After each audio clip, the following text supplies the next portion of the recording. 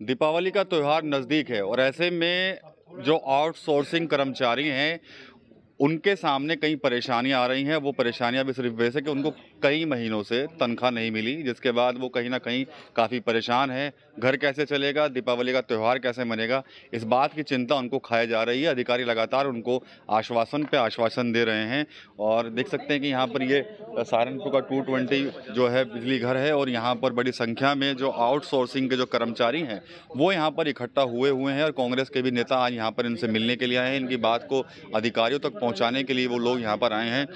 और बताया जा रहा है कि कई महीने हो गए हैं इन लोगों को तनख्वाह नहीं मिली है तो बातचीत करेंगे। हमजा भाई ये बताइए कि आप लोगों ने बातचीत की तो क्या आश्वासन मिला है? तो परेशान है काफ़ी कभी दीपावली का भी त्यौहार है घर कैसे चलेगा? देखिए अभी दशहरा का भी त्यौहार गया है वो हाँ। बगैर पैसों के गया इनके। हाँ। अब दीपावली का आ रहा है तो हमारी बात हुई एक्शन साहब से और आश्वासन दिया है।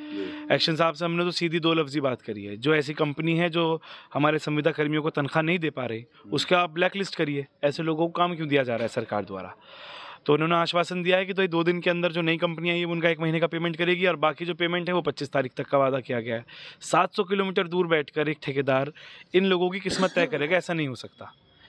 इन्हें मजबूर किया जाता है चीज़ों के लिए, वो सब बात हमने करी हैं और हमें आश्वासन भी मिला है, देखिए एक्शन साहब से कि कार्रवाई भी होगी और इनकी मदद भी होगी। हम तो तन मन धन से इनके साथ खड़े हैं। सहारनपुर की बात नहीं है मुजफ्फरनगर और और जिलों में भी इस तरह के हालात हैं। देखिए मेरे पास तो आज क्योंकि मेरे पास कल ये लोग आए थे कि हमारे पूरे ज़िले के संविदा कर्मियों को बिजली विभाग का पैसा नहीं मिला। Technician hmm. है ये लोग। हम्म। अगर ये लोग काम नहीं करेंगे पूरी व्यवस्था ठप हो जाएगी। हम्म। और एक बात बताइए तीन महीना अगर किसी को तनख्वाह ना मिले तो मजबूरन उसे काम छोड़ना पड़ेगा। और अगर काम छोड़ दिया और बिजली की व्यवस्था ठप हो गई तो सबसे ज़्यादा परेशान हम और आप और आम जनता होगी। तो इस पर संज्ञान लेना चाहिए सरकार को इस मामले का। हालाँकि एक्शन साहब ने हमें आश्वासन दिया है, लेकिन मैं चाहता हूँ आपके चैनल के माध्यम से मेरी आवाज़ प्रदेश तक, सरकार तक भी जा रही होगी कि भाई इस मामले को संज्ञान में लेकर और किसी भी ज़िले के अंदर संविदा कर्मियों के साथ नाइंसाफ़ी ना हो। ठीक है। यहाँ कुछ संविदा कर्मी भी है उनसे बात कर लेते हैं। कितने महीने से पैसा नहीं मिला भाई? सर दो महीने से पैसा नहीं मिला कोई भी। और अगर सुपरवाइजर से बात करते हैं तो सर में सही तरीके से बात नहीं कर पाते। हम्म। मैं कहते काम करना हो करो नहीं करना मत करो सैलरी अपने हिसाब से देंगे हम। अपनी मनमान करते हैं सर। अच्छा। हाँ जी।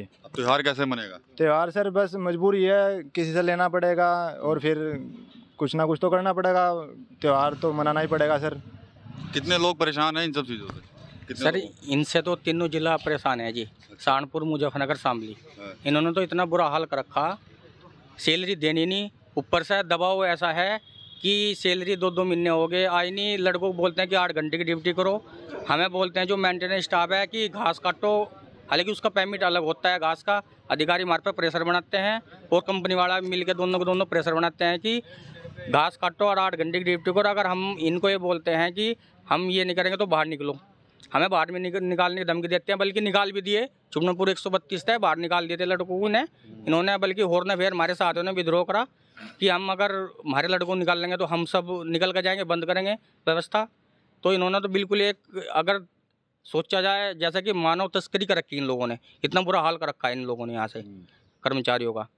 बिल्कुल बहुत ड्रेवा ये कर्मचारी बहुत हैं हमारे पास कमी है फ़िलहाल तो कर्मचारी। बहुत ड्रेवा हैं कि कभी निकाल ना दे कहाँ से मिलेगी नौकरी? बहुत ही छोटे स्तर के हैं बेचारे। अब कैसे मनेगा त्यौहार? कुछ उम्मीद जगी नहीं जगी कुछ? बात करने के लिए आए नेता जी कोई उम्मीद नहीं जजी साहब। अच्छा। जी। क्या चाहते हैं आप लोग? क्या हो? जी हमारी समस्या का हल होना चाहिए सर। अच्छा। जी। कब से नहीं मिल पैसा परिवार कैसे चल रहा है? पैसा कब से नहीं मिला? बस जी फिर परिवार ऐसे चल रहा है किसी मांग तांग कर लेते हैं कि जिन्होंने लड़कों ने किस्त उठा रखी है वो किस्त नहीं टाइम पे दी जाती है उनके पैसों की। है हम्म। जी जी। चलिए। क्या कहना चाह रहे हैं आप? सर मैं कहना चाहिए जैसा कि हमारे इमरान मसूद जी सांसद हैं उनके लड़के जो आए हुए हैं साधारण मसूद जी उन्होंने बात की है। वो उन्होंने आश्वासन दिया है कि हम आपकी समस्या का हल करवा के छोड़ेंगे। अच्छा। ठीक है जी?